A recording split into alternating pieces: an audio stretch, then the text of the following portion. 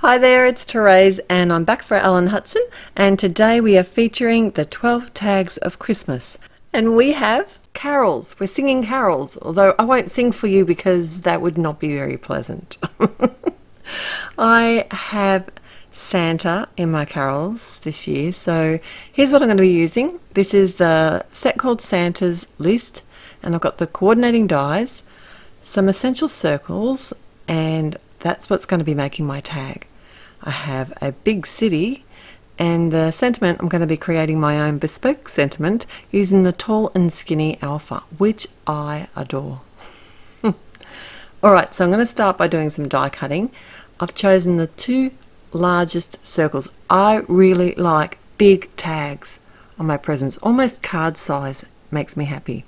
The bigger the better and I want to die cut like two layers for this card but the second layer I want to be almost like a galaxy background. So that's what I'm creating here. I've used my ink blending tools both my Altenew and my life changing blender brushes here and grab some beautiful bright distress ink colors. I'm working on some Neenah 110 pound cardstock and I'm adding lots of color here then over top of all these blended colors, I'm actually adding a layer of black soot.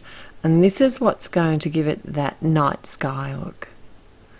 So I've die cut this one with the slightly smaller, largest circle.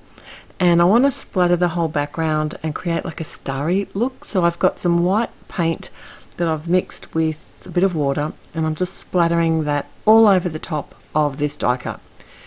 And then I can just set that aside to dry. I didn't do any water blotting here. I actually meant to and I forgot. But I what, what I did instead was add lots of stars. I'm going to do some really simple Copic colouring here. I have the Santa and also a sleigh because for this carol today we need both a Santa and a mode of transport. Have you guessed the carol yet?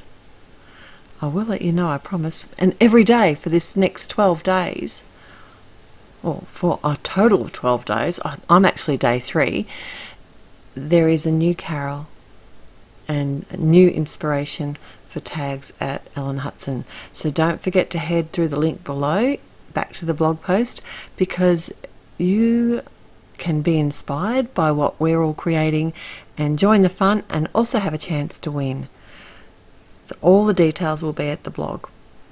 Alright, I have got the caps off to the side here for the Copic markers that I'm using, but I will try and remember to link these as well at the blog. I didn't do anything particularly fancy here. And this has a coordinating set of dies, so it was hard to line up the bottom portion of the sleigh so I was just going to show you a little trick. I've die cut it out of a piece of scrap cardstock and held that in place over my image. Then I can just lie the die in place like a jigsaw puzzle piece and run that through my die cutting machine. And that way I know it's going to die cut in exactly the right spot. And then I did the same with my Santa Alright, now for the big city, I've die cut that in some black cardstock and I want this to go over my galaxy background. So I've got the second largest circle die again and I've just lined that up where I want that cut away. My sentiment, like I said, is going to be using the skinny and tall and skinny alpha and I'm doing ho ho ho and just in some 110 pound white cardstock. I've got that ready to go as well. So I like to get all my pieces ready to go and then I can just assemble everything. I have popped up my galaxy panel on the front of a card. I did just use a hole punch. If you've got a die, a little tiny circle die, you could cut that away. But I popped up my galaxy panel on top of the largest circle that I initially die cut out. And then I, to adhere these really tiny, skinny thin die cut letters. I'm using my matte medium, just dotting that along and I'm holding the die cut. I find it easier to hold the die cut with my tweezers and then be able to just lay that onto the background. I have also popped up my Santa and my city. I did use some black foam squares on the city itself just so you can't see those um, sitting in behind the image and then Santa sits on top. So have you worked out the song yet? It's Here Comes Santa Claus. See, he's on his sleigh, he's over the city, and he's got the galaxy background. Love it. Alright, a bonus tip today. I'm going to show you how I made this tassel. And it's really easy to do.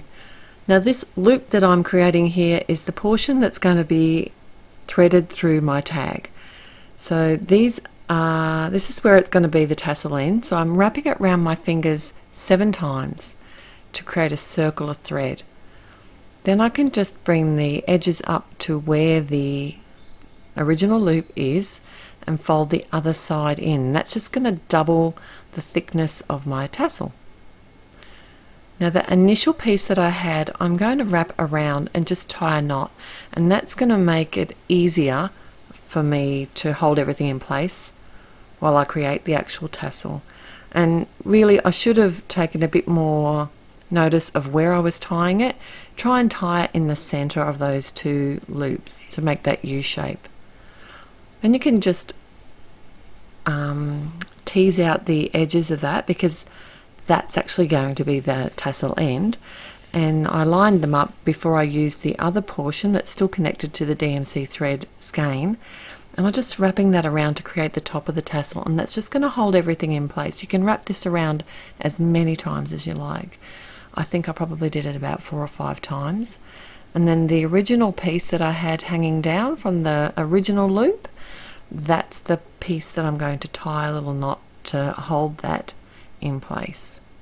Really simple and easy to do and so much fun. And Ellen Hutson sells the DMC threads at the store to coordinate with the felt that she has and it's just it's beautiful quality felt and these DMC threads are such wonderful colors and I thought this really dark sort of grey black color worked perfectly all I had to do then was cut away the edges and I did have to cut a little bit away from one side because like I said I didn't make it completely center and I just threaded that through my tag so don't forget to join in the fun at Ellen Hutson and the 12 tags of Christmas. There's so much inspiration there. I'll have the link in the description below. And thanks so much for joining me. If you did like today's video, please click on the thumbs up button. And don't forget to subscribe if you haven't already. Till next time, bye.